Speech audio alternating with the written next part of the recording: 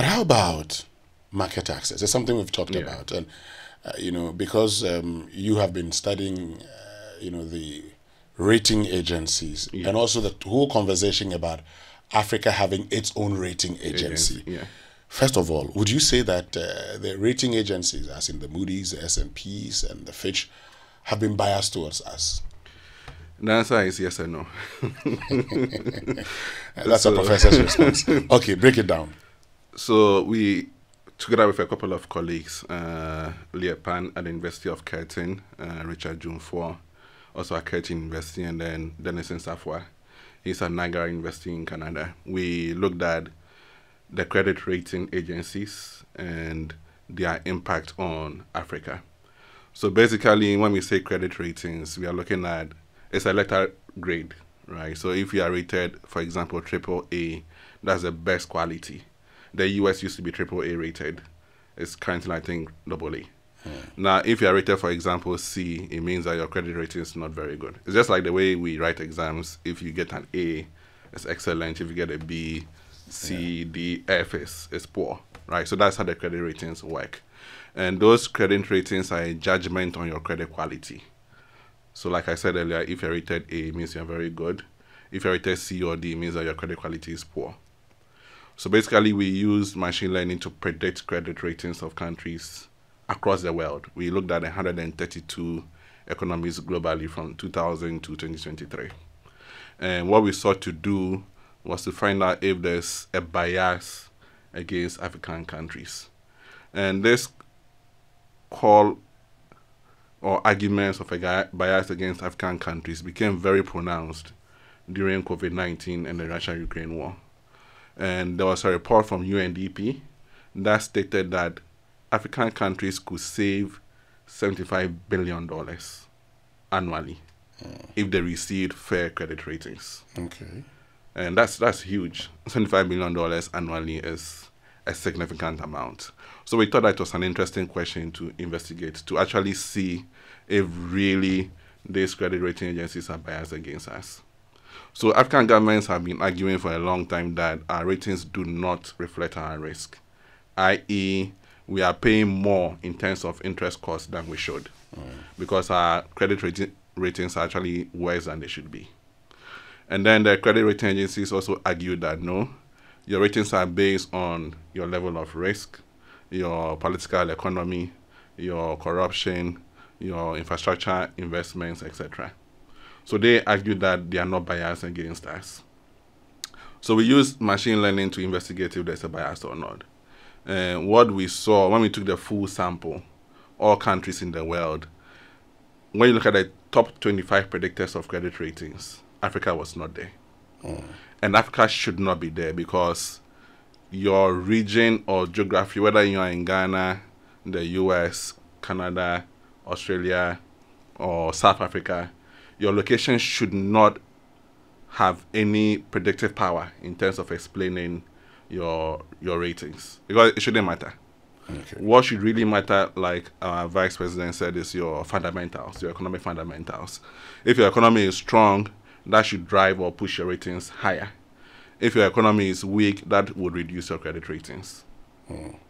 So within the first 25 predictors, we didn't see Africa as a predictor. But then we decided to do something interesting, right? Because this sample included 132 countries across the world. But they had in there only 26 African countries. So we decided to do a random sampling where we took 26 African countries, which were other African countries we had, and then we randomly selected 26 non African countries so that you can match, you have a match there's no underrepresentation of African countries or overrepresentation of non-African countries in a sample. So we took the 26 African countries and then randomly selected 26 non-African countries. Now, when we did that, something interesting came out. Mm-hmm. Now, Africa was the number three predictor of credit ratings. Okay. And that should not be the case, right? Why shouldn't that be the case? Because, as we mentioned earlier, whether you are in Ghana, or Japan or US, Canada, Australia, what should really influence whether you can pay your debt or not It's not your location. Okay. It's rather your the quality of your economic policies, the consistency. so are these ratings biased against us? So again, I'll give you my answer. Yes, I know. No, but, but based on based on the data, uh, based on the data, is there the need? Is there a justification for an African ratings agency? so let me talk about whether there's a bias or not. Okay. Because when I presented my paper at the University of Ghana uh, Intercollege Lectures, one of my very good friends, Senyor Hosi, was there. And he said earlier, Are you really sure that there's a negative bias against African countries? I said, Well, that's what the data said. But then I went back and did a finer investigation. So I looked at each credit class to see whether we had a bias or not. Now, what emerges is quite interesting. So when you are in the lower credit quality class, right, mm. they have actually been more good to us than they should be. Mm. There's a positive bias. Okay. So if our rating should have been D, they're actually rating us, for example, as C, Okay. which means they're actually being positive, right? And again, you can see the, that from the way our credit quality deteriorated very quickly. Within a space of two years, we're in selective default. yeah. Okay, so they have actually been more positive than they should when your credit rating is actually bad or you're in the low credit rating category. On the other hand, when your credit quality is actually very high, they are not giving us the credit we deserve. So countries that should be rated, for example, A, are being rated B. So in the upper credit quality class, there's a negative bias. Okay. But in the lower credit quality class, where Ghana is, they're actually being good to us. There's a positive, positive bias there.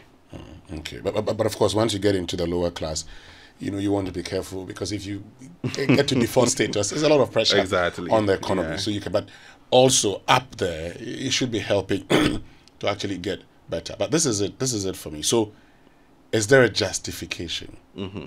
for an African credit rating agency?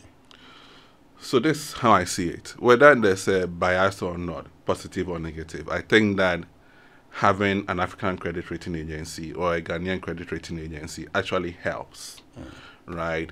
It helps to develop our local financial sector because currently very few obligors or borrowers in Ghana are rated, right? And one of the reasons is that the credit ratings are actually very expensive. So a lot of companies in Ghana, most of Africa, are not rated. So if we had an African or a Ghanaian credit rating agency that was quite affordable, that makes it easier for companies to have market access, to be able to issue debt and to borrow and to grow their companies. So I think that it's not about whether there's a bias or not. That is an important conversation. If there's a bias negatively against you, it means that investors will sell your bonds. When they sell your bonds, your bond prices will fall. When your bond prices fall, your yield or interest rate will increase, so borrowing cost becomes more expensive. Investors begin to flee your country. So we call it capital flight. They begin to sell their investments, leave your country. That causes your currency to depreciate. Once your currency is depreciating, it can lead to a banking crisis, like we saw in Ghana, and a full blown economic crisis. So that conversation is important. Like the UNDP estimated, if there's a negative bias, it can cost us about $75 billion annually. But I think that beyond that, we should look at having more entities rated and giving these companies the ability to actually borrow. And it's not just about companies. The vice president mentioned credit scoring. It's the same system, right? Using machine learning, we can predict what the credit score of a should be, and that will allow Ghanaians to actually be able to borrow and invest. Hmm.